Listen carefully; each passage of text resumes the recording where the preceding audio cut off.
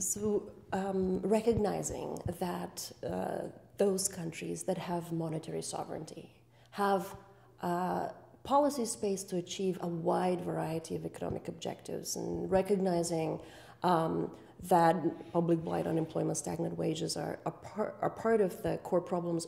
What would you recommend policy do over the next five, ten years um, to address those issues?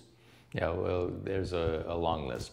But you, I think you begin with, um, say, the worst problem that you have, um, and then you um, start building from there. And, and, probably the worst problem that you have in both the UK and the US is the lack of jobs, especially for young people, um, and especially for people who didn't graduate from college. So I think you tackle that one first. And you can um, use a, an employment program to also start tackling the infrastructure needs uh, and the infrastructure repairs. So that um, in the United States in the 1930s, we had uh, a problem of unemployment. Unemployment was about 25% in the United States at the depths of the Great Depression. We created jobs programs uh, such as the WPA, which um, that program alone employed 8 million people. They built a lot of the infrastructure in the United States that still exists. Um, in really important respects, the WPA is what brought the US into the um, 20th century. We actually were an underdeveloped nation in the 1930s. We got our highways, our airports, our schools, our public buildings um, were all built during that period by workers in this program. Now, you can't put all the unemployed in this kind of a program um, you need additional um, uh, programs to employ the unemployed. Uh, but we have sort of an equivalent need, which is care services for our aging population. And so people who aren't particularly suited to um, working on infrastructure projects can be put into care services for the aged, for the infirm, for the bedridden, for the people who can't leave their homes, who need some help around the house. Uh, Meals on Wheels is a program that we have in the United States. Things like that that can be done by other kinds of workers. So you can start chipping away at the unemployment problem, and at the same time, you're also helping to uh, chip away at the infrastructure and care services for the age problems. And, and not to mention that there are uh, very many environmental needs, yes. many of which can be addressed with uh, low skilled, uh, labor intensive initiatives.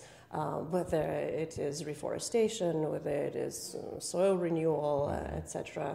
Um, it's insulation. Insulation. We could we could mobilize um, a wide range of skills, mm-hmm. ages, um, work experience in those kinds of projects.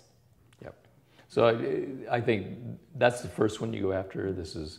Uh, fairly easy to implement. Um, you can look at how the United States did it in the 1930s. You can look at how Argentina did it after their crisis um, when they created the Jefes program.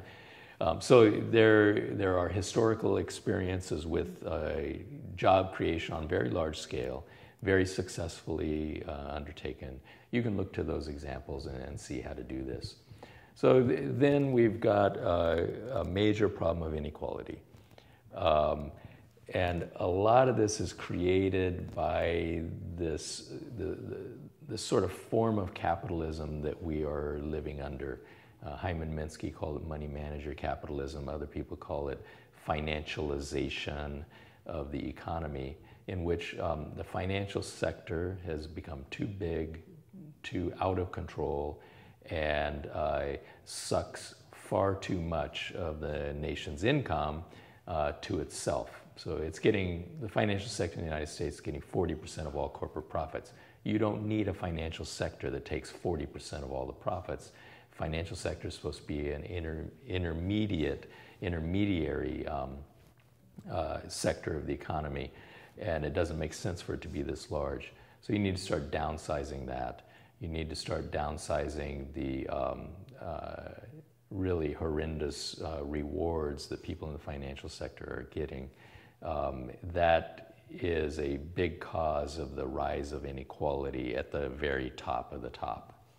Randall, is it, is it very difficult to achieve that? I mean, um, it sounds like something I personally would agree with, but would a banker or a CEO of a big bank agree with that? Yeah. Well, if you, you know, the extremely high rewards of the top management of corporations is not market determined. It's very clear that it's determined by the institutional nature, the structure of, of the economic system that you live in. Just as, as an example, if you look at the, the top um, corporate CEOs in the United States, typically make on average about 350 times the um, salary of their average workers, mm. 350 times. If you go to the UK, it's more like 140 times. Okay, mm. why? We have very similar economies, right? We, have, we operate in the same international markets, but here the rewards are very much higher. It's because of the structure of, uh, of our financial system mostly and um, of our corporate sector in general. Go to Austria, it's only 35 times. You go to Japan, it's uh, uh, smaller than the UK. Then um, uh, Germany is about the same size as the UK. What I'm saying is, it isn't the market that determined this. Okay, it's the way that we reward our top executives. This is a this can be changed by policy. Um, as far as the oversized financial system, again, this is not a result of market forces. This is a result of public policy. If you go back to 2007, all the so called too big to fail institutions were insolvent, without question. Insolvent, riddled with fraud. We easily could have shut them all down.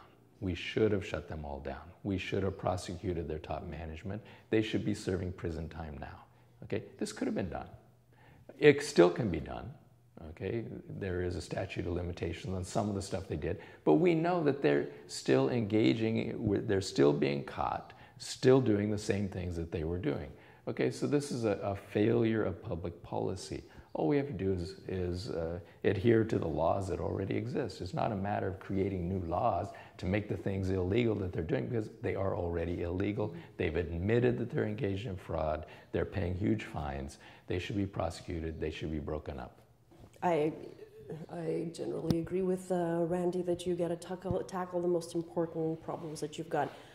Look, it was the famous British intellectuals that told us that the two outstanding faults of society were the problem of mass unemployment and inequitable and arbitrary income distribution. So that was that was John Maynard Keynes, and the British social reformer Beveridge is the one that gave us the modern welfare state um, and provided a way of thinking about uh, what a public safety net would be.